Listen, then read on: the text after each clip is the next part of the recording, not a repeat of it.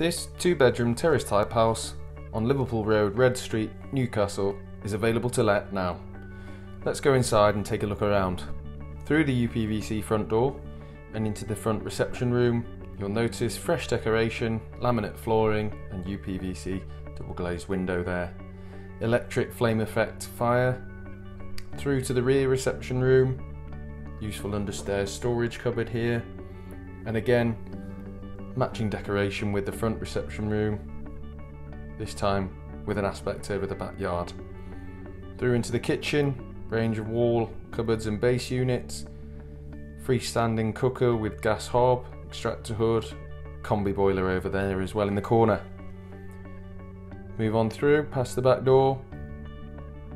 Quick look in the bathroom with white suite. Bath just behind the door here is the toilet and shower head over the bath. While we're downstairs, we'll take a look outside. Nice sunny day here. And this artificial grass area. It's plenty of space for a table and chairs to sit out in the summer sun. So, back through the property, let's go and take a look at the two bedrooms this house has to offer.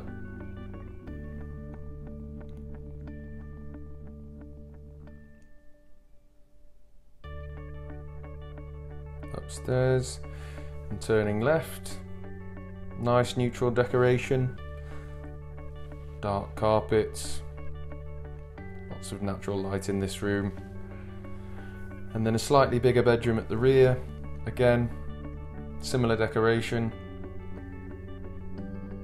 Nice aspect over the rear of the property.